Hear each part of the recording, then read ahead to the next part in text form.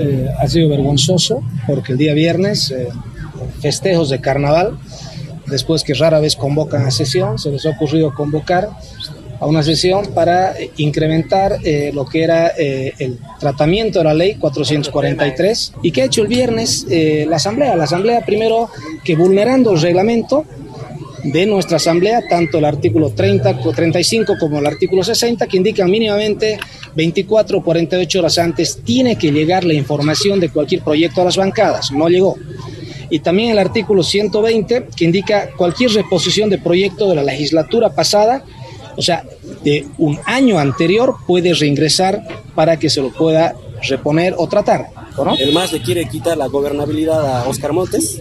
Más que quitar la gobernabilidad, quiere generar conflicto. El movimiento socialismo no sabe gobernar eh, y no entiende lo que es eh, eh, lo, los recursos, los ingresos. Hablando del 2023, eh, de los 449 millones que han ingresado por regalías, el 8% que iba, porque es el 1% para cada municipio, estás hablando de 35 millones de bolivianos.